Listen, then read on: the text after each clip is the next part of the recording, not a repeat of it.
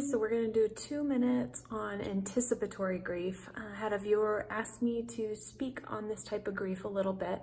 This is grief that is felt prior to the death of someone. So it's a death that you know is going to be happening and the family and loved ones along with the person that is dying feel this type of grief.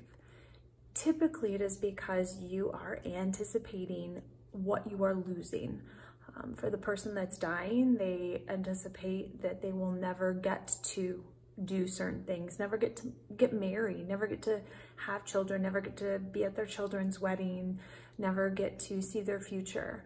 For the loved one, you may be losing your partner, your child, um, your source of an income, um, change in roles within the household, change in traditions and holidays. So you anticipate the loss that is going to be coming.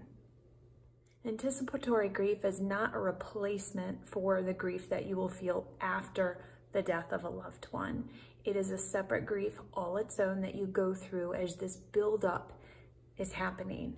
You often go through a battle too of grieving and having hope because if you go into grief, you often worry that you're giving up hope on the person living and a miracle happening or some change happens. So there's a battle within that middle ground of which way your emotions should swing and you fear that if they go one way, you are disappointing the other side. So if you have hope, then you should be grieving. If you're grieving, maybe you should have hope.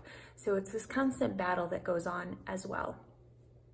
Symptoms of this type of grief or signs of this type of grief are anxiety and fear and loneliness and wanting to talk to somebody but not wanting to talk to anybody all at the same time. There's also sadness and some people do seek counseling for this type of grief.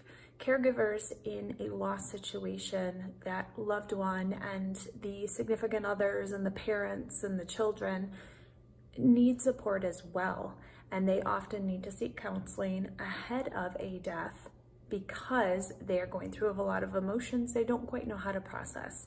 So two minutes on anticipatory grief.